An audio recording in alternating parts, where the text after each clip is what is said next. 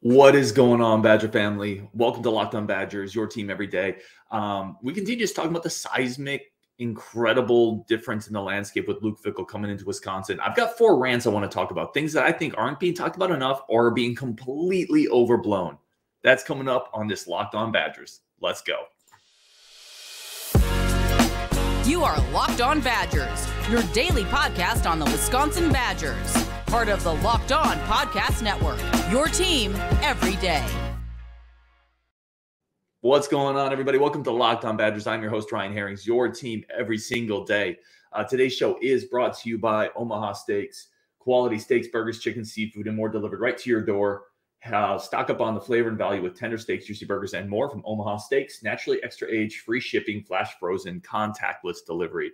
And let's get into it. So, I've got a couple rant rants is maybe the wrong word, but a couple things that I think are being overblown or maybe not talked about enough.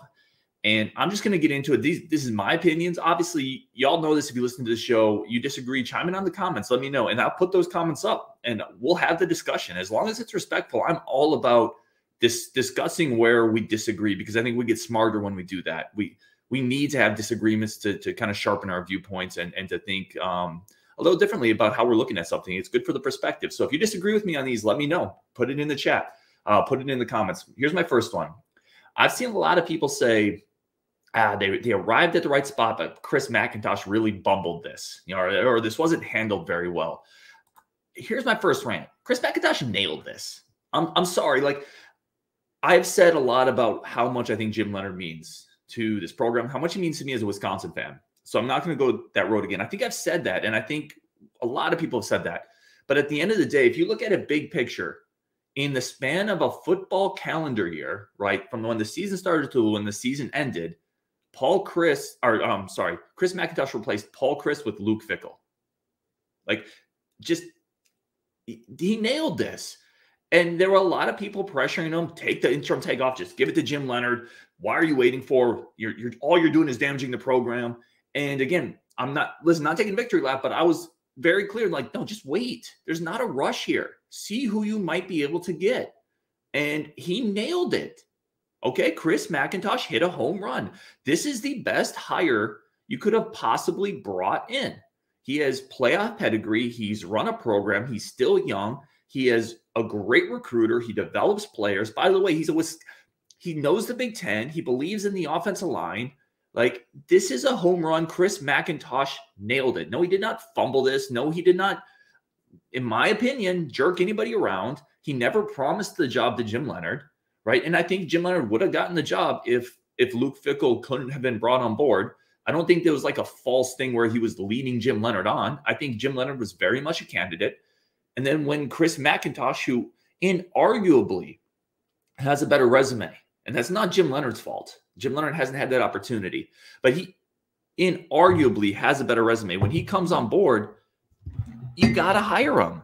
You have to. So, my opinion, Chris McIntosh nailed this. All right, next rant. And on this one, again, I just put a little in parentheses. I was right. Uh, again, not trying to take victory laps on anything because I get plenty wrong. Um, there was a time I really thought Austin Kafentzis was the future of this program. So I get plenty wrong, but I have said so many times, I've lost count of it Wisconsin's a big boy program. They need to act like it.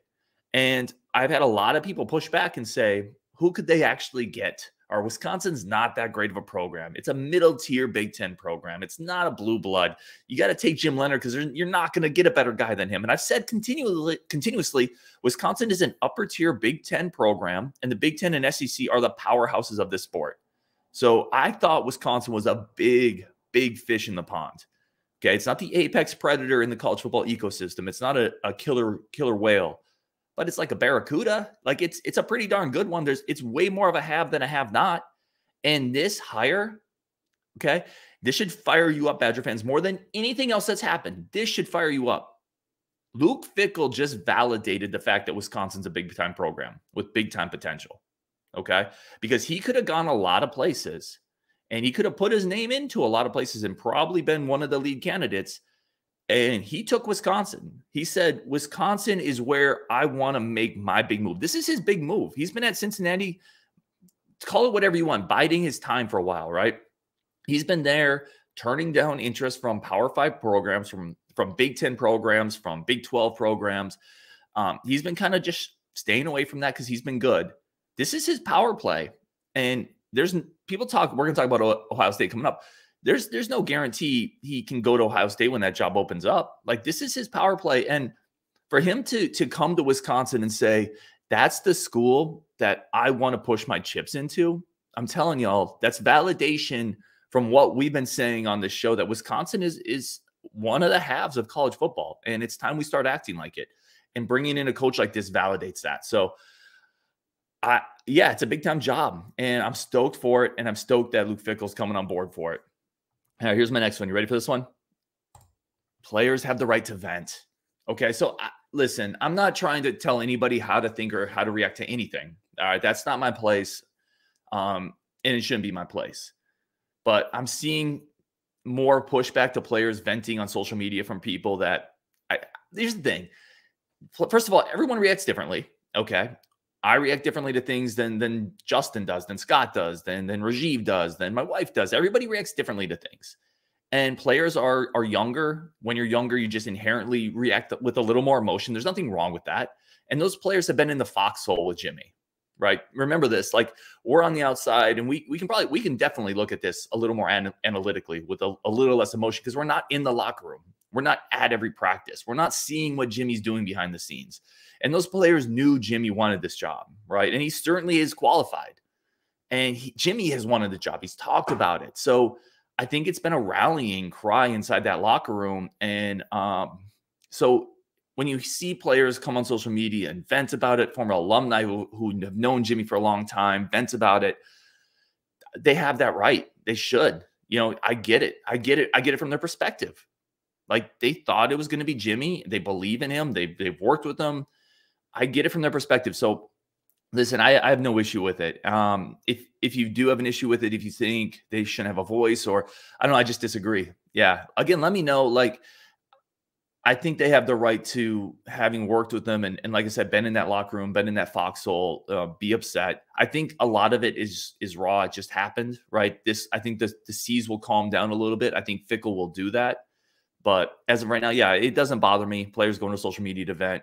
I think that is kind of the world we live in today. That's how a lot of younger people communicate anyway, whether they're venting, whether they're happy, whether they're just binge watching something. It's a, it's a social media thing. So I'm okay with it, no issues with it. And I, I think the people that have an issue with it maybe are are over analyzing a little bit. So that's my third one.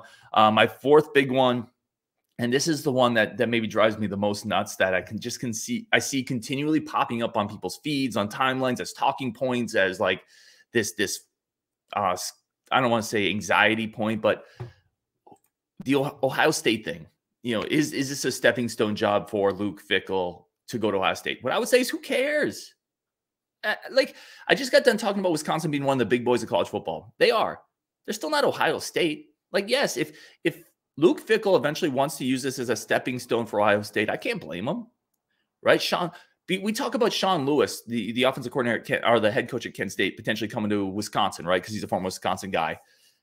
Do we care that we're using Kent State as a potential stepping stone to Wisconsin? No, that's how college football, the food chain works.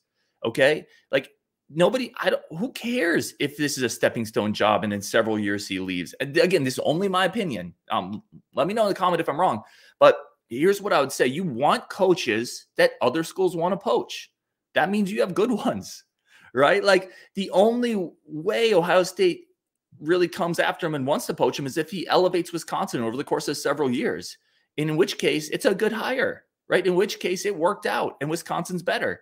Ohio State's not coming for him if he he tanks, right? So if we're if we ever get to the point, whether it's a couple years from now, five years from now, whenever, where Ohio State is like, yeah, we have to go get Fickell. Well, that means Wisconsin's good.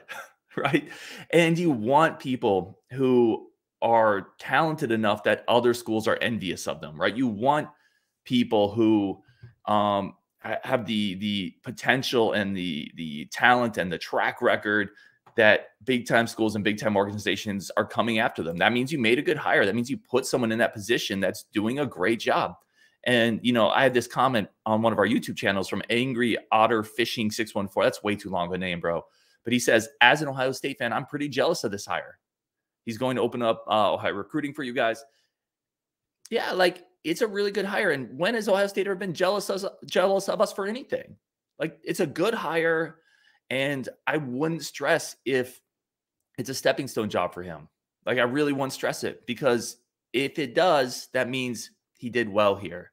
And then the next hire, you can go out and find someone else because the job is going to be very marketable. So, yeah, that's that's where I'd say with that. Those are my rants. Um, to round it up, the players have the right to vent. I wouldn't stress it. They've been in the locker room. It's been a long season. Um, I don't care if it's a stepping stone job for him because if he ends up stepping that stone, that means Wisconsin is is done really well for themselves in in the interim.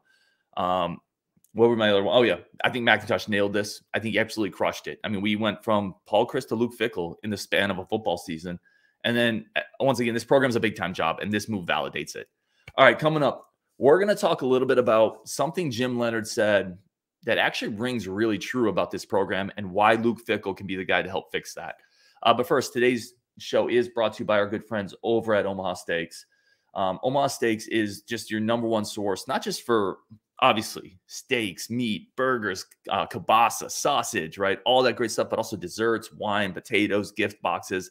Listen, tis the season to be giving. And if you want to be moving up on some of your friends' power rankings, right? You want to become the best friend to several different people, you get them an Omaha Steaks gift basket. Okay. You get the uh, gourmet gift basket coming with two five ounce filet mignons, sirloins, chops, burgers, kielbasa. Y'all know I love kielbasa, potatoes, seasoning, and dessert. Are you kidding me? That is the ultimate Christmas present. And if any of y'all want to, you can send that my way and I will be forever grateful this holiday season. So go check out Omaha Steaks. Go to the website. Great deals running right now with um, Black Friday, Cyber Monday, contactless delivery, all of that on Omaha Steaks. All right, let's keep going. Uh, when you're done here, go check out Locked On Sports today. All of the biggest sports news of the day in one spot. Like only the Locked On Network can do it. Whether you're listening on podcasts, YouTube, or the Odyssey app, that's Locked On Sports today. Go check them out. And let's just keep going. Let's talk about it. So I mentioned one of the things that um, Jim Leonhard had talked about that Luke Fickell actually think might be the perfect guy to fix. It's kind of a weird uh, segue there.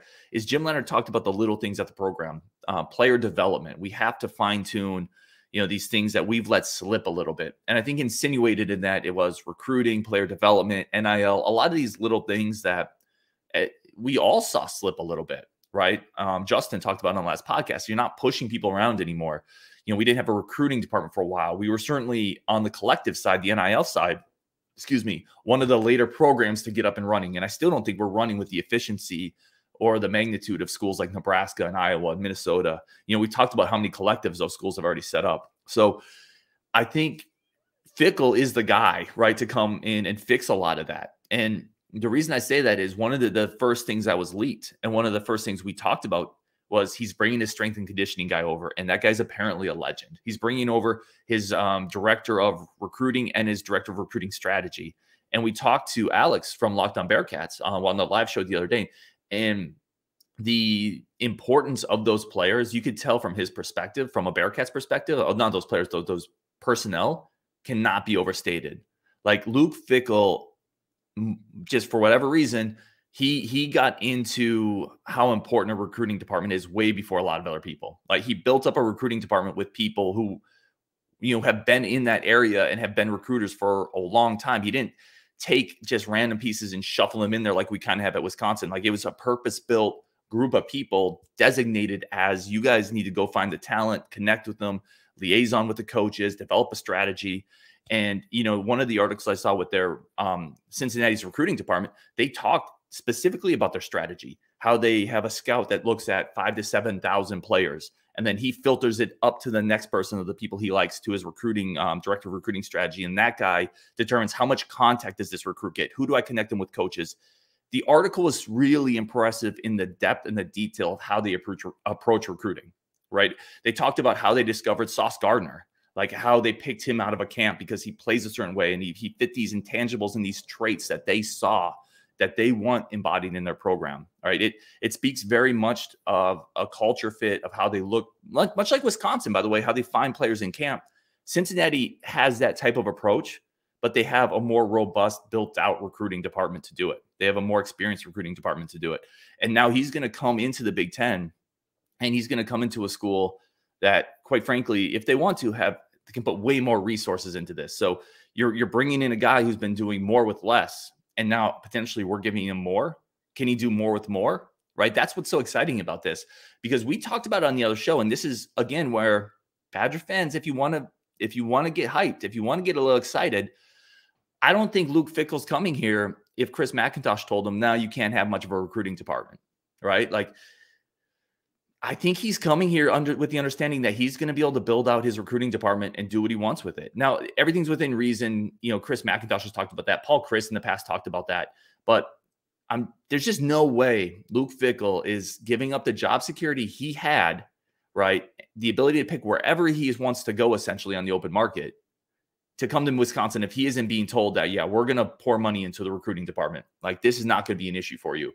And you can really dream on what can Luke Fickell do at Wisconsin, right? Because he is, he, at his heart, he's a great recruiter and he has built a recruiting staff that has really outperformed what Cincinnati should be doing. Now, what can he do in the Big Ten, right? What can he do at this stage? And that should be exciting to people. He's going to open up Ohio. There's a ton of talent in Ohio. And yes, Ohio State is going to get the cream of that crop every year, 100%. But there are a lot of high three and four and low four star players that don't go to Ohio State. Like those, those players could start to be a pipeline to Wisconsin, right? He's he's absolutely another question we had is, and this segment's mostly about recruiting. Another uh, question we had is, well, what about the in-state recruiting? Are there a lot of bridges burned? He, Luke, listen, I don't know Luke Fickell, obviously. I know he's not an idiot. Okay, he's not going to come into Wisconsin and not emphasize in-state recruiting. And I don't, for the love of me, think that um, in-state coaches are going to hold some big grudge against the University of Wisconsin for the most part, and not try to avoid sending kids there because they didn't hire Jim Leonhard. I've seen that narrative, um, or the narrative that in-state coaches are are, are going to need to be won back over. It's still the in-state program. It's still Wisconsin right? Barry Alvarez is still there. Chris McIntosh played at Wisconsin. We're all, my point is, everybody wants the same thing, which is a successful Wisconsin program. Okay. And I don't think in state kid recruits and coaches and high school coaches, once they get to meet Coach Fleck, based on everything we've heard about him, are going to be reticent to send players to play at the University of Wisconsin for him. Right. And I don't think in state players who want to play close to home, again, talking about Jim Leonhard, a guy who played before they were born, are going to be like, ah, they did Jim Leonhard dirty. I'm going to go to Illinois now. I just, I think that's a narrative that's been built up falsely. I think in-state recruiting is going to get better, or or at least hold serve. I mean, remember, quite frankly, the last last year wasn't that great anyway. You had multiple top prospects leave the state, so let's not act like this wall has been impermeable the last couple years. Like it is, it there's been some holes punched in it I think Fickell's going to come in and, and do really well on that avenue as well. I talked about it on one of the live shows. I forget which one we had so many, but his his recruiting department talking about the importance of in-state recruiting in Ohio basically said we're going to know every kid in our backyard. That was a quote. We're we're going to know every kid in our backyard, and if we don't, we're going to correct that immediately.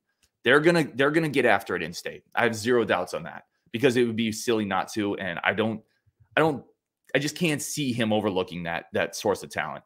Um, and that's so that's why I'm excited there. I really think you're going to see an, an increased emphasis on recruiting. I think you're going to see better recruiting. I think you're going to see classes jump back up to where Chryst had them trending for a few years, like back into the top 20, certainly the top 25. And I'm excited to see that. I'm excited to see where they go.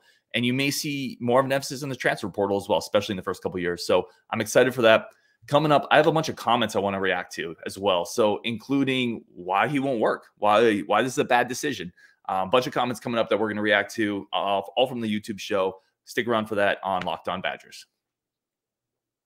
What's going on everybody? Welcome to locked on badgers. As always i really do appreciate you tuning in um, let me know in the comments below if you if you just what you're thinking. Where are you at? Are we still on board with this?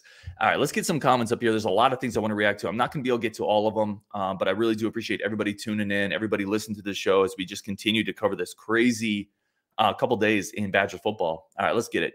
These are all from the YouTube channel. And again, I appreciate everybody who makes comments. I read everything. I try to respond to a lot of them. I try to get some up on the show just to, so we can continue building that community, continue talking back and forth. We're all smarter when we engage more. All right.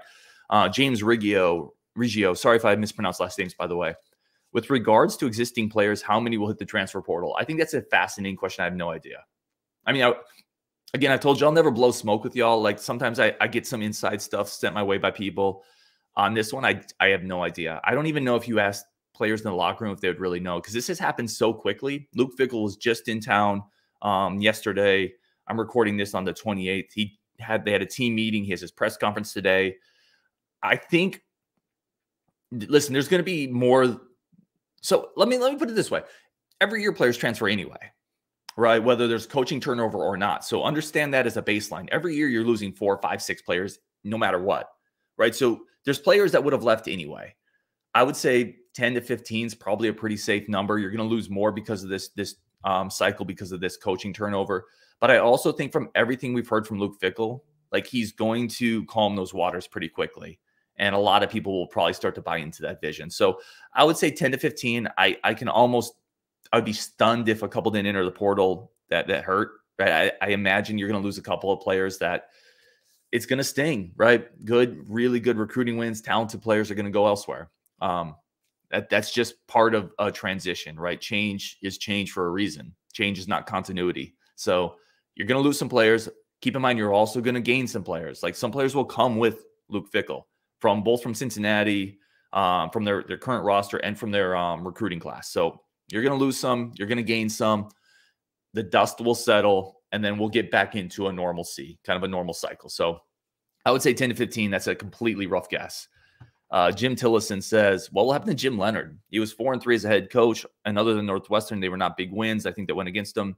Yeah, he, the finish definitely hurt him. Now, I, I, here's here's why I'm at. I tend to think as long as Fickell was on the table, Leonhard could have almost gone undefeated, and it wouldn't have mattered.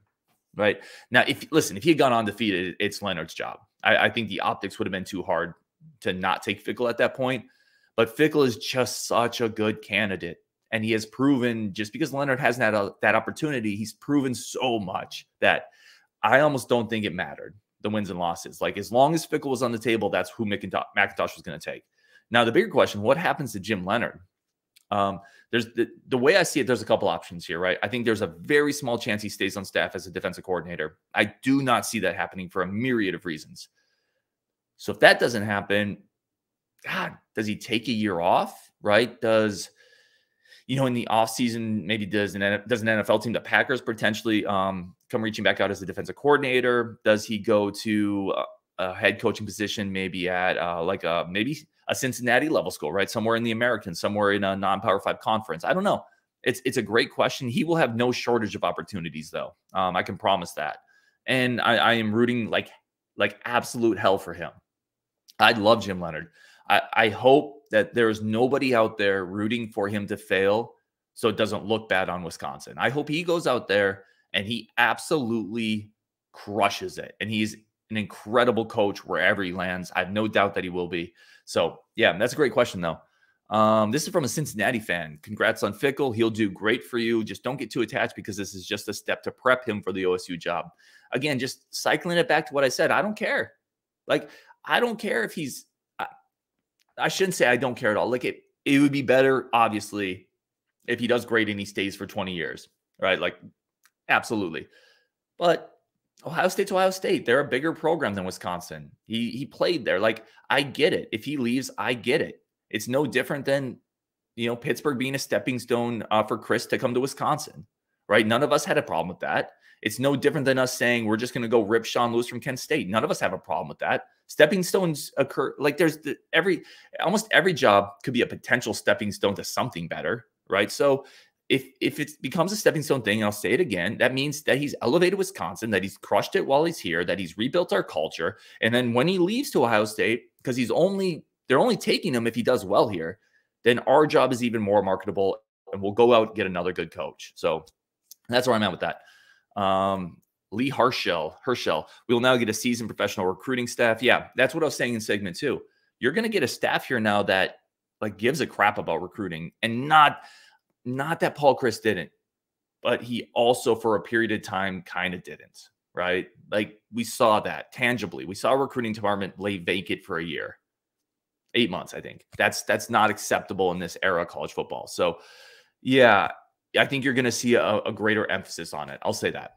Uh, Badger and Bournemouth. Um, thank you for all the comments, by the way. Another great thing, Fickell wouldn't have come without assurances that Wisconsin is going to spend money and be a great football program. Yep, something else I touched on as well. I think this is very well said. He's coming here because he thinks he can win at a high level here. There's he's not coming here because he has to. He doesn't have to leave Cincinnati. This is a move of opportunity for him, not a move of necessity. So I'm excited for it. Uh, Rebel says a 335 won't work in the Big Ten. LMAO. Yeah, certainly Rich Rod came into Michigan, tried to play 335 when he came from West Virginia. But here's the thing he's not playing a. Th- so the 335 thing, he plays some of it. He also plays a 3 4. He's not an idiot. Like if he's getting gashed on the run, he's not running a 335. I'm not worried about this at all. I think the fact that he's shown a, a 335, a 34, he, he has variety defensively. He's flexible, he's versatile. I'm not worried about this at all. He's not a he's not an exclusive 335 guy, is what I'm saying. You know, so he's gonna be fine. He'll be okay. Trust me, he'll, he'll be okay. He'll put another linebacker on the field when we play Iowa. Um, Coriel, let's see, what is this? Coriel Johnson says it's the spread. Wisconsin, as you've known it for 20 plus years, is gone. This move will set you back years. Nebraska went the spread route and has never recovered. Okay. So this is the last one. I'm going to finish on this one. This almost could have been another rant for me. Understand something. Wisconsin never are Wisconsin's not Nebraska. Stop that for now, for starters. Okay. Nebraska didn't recover because they made a series of terrible coaching hires. Right. Um, Callahan, uh, Riley, Scott Frost. Listen, that is not Wisconsin. Okay. If Wisconsin makes three more or two more successively bad, let's say this hire doesn't work. Let's say, and it could, right? There's no guarantees. There's there's not a an ironclad money back guarantee that Luke Fickell is going to turn Wisconsin into a better program. I think he will. It's not a guarantee. But let's say this hire doesn't work. Wisconsin only turns into Nebraska if they spend the next two decades still sucking right? If they spend the next two decades making con- consecutively bad coaching hires, we got a long way before that happens. Okay. So I'm not, we can throw the ball at Wisconsin and not become Nebraska. This idea that the only way Wisconsin can continue to be an, uh, an above average program is by running the offense that they've run for the last 25 years is so nonsense. And it lacks any basis in reality. The idea that the spread is why Nebraska got bad is borderline absurd. You're bad because you kept hiring bad head coaches, not because you tried to change your offense. If you had hired a coach, a good coach that ran the spread, you would have been fine. So, um, yeah, I think that's a silly comment. I've always thought that was silly. Wisconsin is not going to become Nebraska because we change up our offensive style. So, with that, uh, appreciate everybody tuning in as always. This has been a fun one. We got a bunch more content coming up this week. We got Rajiv tomorrow. Uh, John Garcia Jr. is going to be stopping by on Wednesday. We're going to talk about big picture recruiting, who might um, be coming with Luke Fickell. What does John Garcia Jr. think of uh, their coaching staff? We got basketball coming up this week. Good matchup. So, yeah, just keep tuning in to Locked On Badgers. Appreciate y'all so much. Um, on Wisconsin, and let's keep going.